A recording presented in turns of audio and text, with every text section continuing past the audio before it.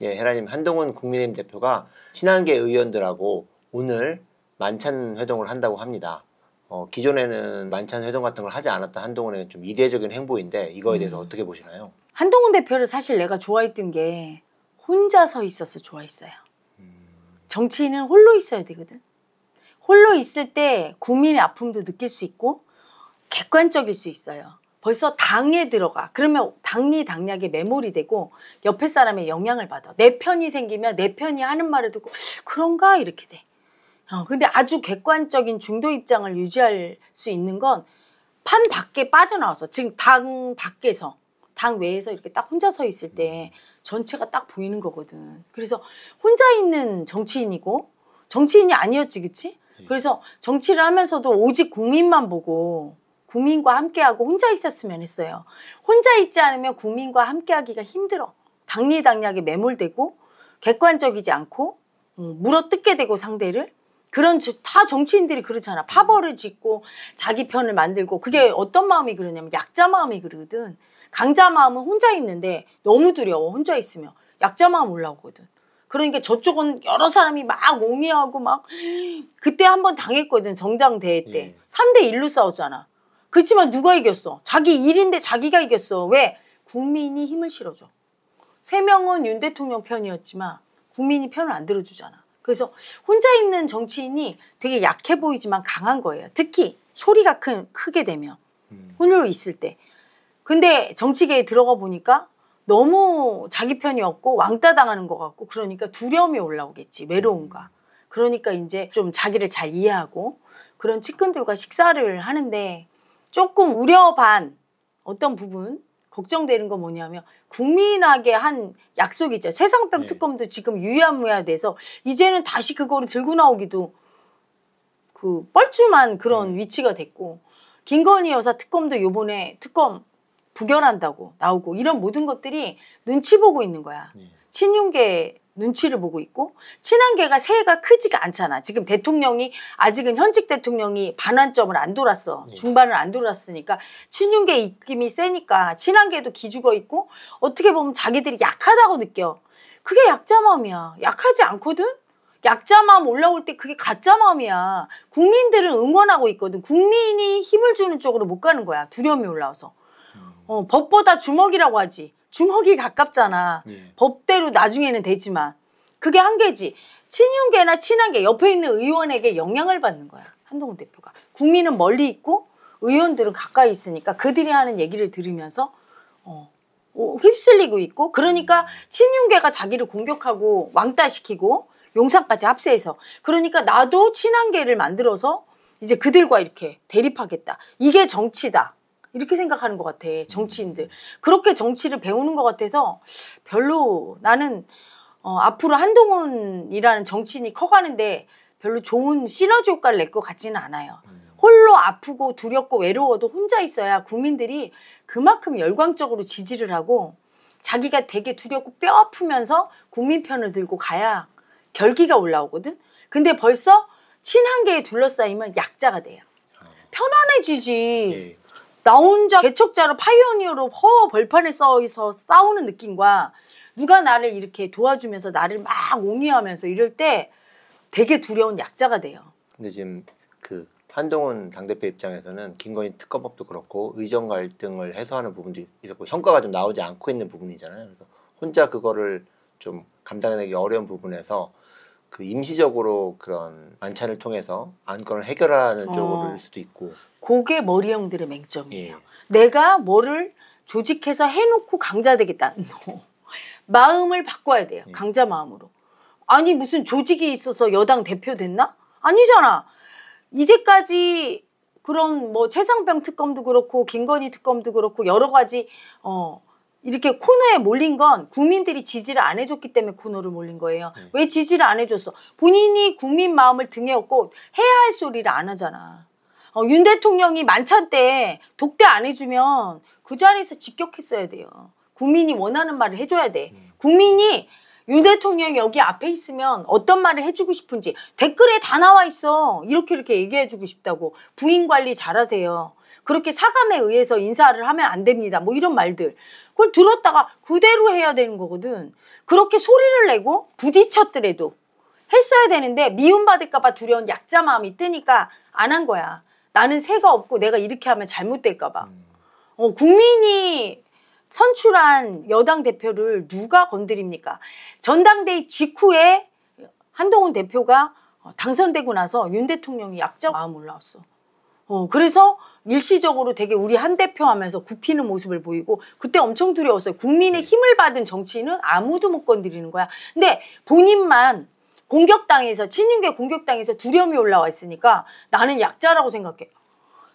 대통령보다 더 강자였던 거야 그때. 근데 항상 이게 문제야 모든 애고들은 내가 강자인데 약자 마음이 올라오면 난 약자인 줄 알고 행보를 해. 한동훈 대표가 그거였던 거야. 국민이 60 몇 프로로 당선시킨 자체가 윤 대통령이 그 당시에 엄청 두려움이 올라왔을 거야. 눈이 달라지잖아. 한동훈 대표를 내 부하로만 알았더니 오 얘가 이제부터 국민이 나보다 더 사랑해? 그리고 그걸 그냥 애써 외면하고 인정 안 하려고 했더니 표로 보여줬어? 그러면 대통령 아니라 대통령 할아버지라도 쫄게 돼 있어. 그때 그냥 치고 올라갔어야 돼. 최상병 특검까지 막 밀어붙이면서. 그러면 윤 대통령의 고집이 더 꺾여. 국민은 힘을 더 실어줘. 나는 더 강자가 돼. 그래서 완전히 죽여놓은 다음에 끌고 가야 돼. 김건희 여사도 꼼짝 못하게 제2부속실 설치하세요. 하고 막 얘기를 하고 그러면서 끌고 나가야 됐고 그때 두려워서 못하고 꺾으면서 계속 어떻게 돼 있어. 자기가 약자라고 자꾸 생각해. 친윤계나 음, 자기 세가 약하고 대통령이 막 공격하니까 그 안에서 국민을 안 보고 있어요. 국민이 응원하고 있는데 국민의 응원을 등에 업고 그 올라오는 약자 마음이 가짜구나 딱 하고 그냥 덤벼서 박살을 내버려야 되는데 그걸 못한 거야. 그리고 이제 어, 만찬 때도 얘기도 한마디 못하고 그러니까 윤 대통령은 이제 두려움이 내려갔어. 한동훈 대표를 보는 눈이 달라졌어 또. 음. 두려움이 내려 그렇지 뭐 네가 내 부하 직원이었는데 네가 뭐 별 수 있겠니? 내 눈치 봐야지 하니까 이제는 강하게 나가니까 이게 더 쫄아든 거야 한동훈 대표. 그러니까 너무 두려우니까 이제 친한 게 모이고 친윤계하고도 식사 정치라고 하면서 그게 전부 약자가 하는 행태예요. 너무 두려우니까 집착하는 거야. 자기 머리로는 이게 약자라 그런 게 아니라 내가 여당 대표인데 어 이들을 만나서 이렇게 말도 들어주고 정치인으로서 이게 정치다. 아니 식사 정치를 윤 대통령 의 스타일인데 윤 대통령이 그 스타일로 식사 정치에서 지금 지지율 높고 잘 나갑니까? 망했잖아. 폭망했잖아. 옆에 일부 인사들 얘기만 듣고 친윤계 말만 듣고 하다가 그치? 국민을 안 보게 돼 있어. 개파 정치를 하고 당리 당략에 매몰돼서 내 옆에 측근들만 보고 내 힘을 가지고 하려고 하면 거기까지예요. 친한계가 친윤계보다 더 힘을 키울 수 있는 건 이제 윤 대통령 힘이 다 빠져서 뒤로 갈수록. 근데 그 뒤로 갈수록 어떻게 돼? 윤 대통령이 실정을 하면 할수록 친한계도 힘이 빠져. 왜? 국민이 국힘을 응원 안 할 거거든. 같이 빠져버린 형국으로 지금 가는 거야. 본인이. 절대로 이겨먹지 않으면 자기가 친한계로 인해서 자기가 강자 될 수 없는데 강자 될 수 없는 쪽으로 가는 거예요. 한동훈이 윤 대통령을 이기기에는 이미 윤 대통령이 한동훈을 너무 잘 파악하고 있다라는 얘기가 있는데 그거에 대해서 어떻게 보시나요? 하지만 한동훈도 윤 대통령에 대해서 잘 파악하잖아. 네, 물론 그렇겠죠. 서로 파악하는 거야. 근데 이게 있어. 윤 대통령은 사람을 많이 다뤄봤고 살면서 여러 가지 윗사람과도 대립각을 세워봤단 말이야. 예. 근데 한동훈 대표는 한 번도 윗사람하고 대립각을 세워보지 않았어. 아, 윗사람하고 대립각을 세워서 그 사람을 이겨먹었을 때 마음으로 내가 직함으로는 질 수밖에 없지만 마음으로 한 번 이겨먹은 경험이 있어야 이기고 이긴 강자를 국민은 뽑는 거야. 윤 대통령이 어떻게 대통령 됐어?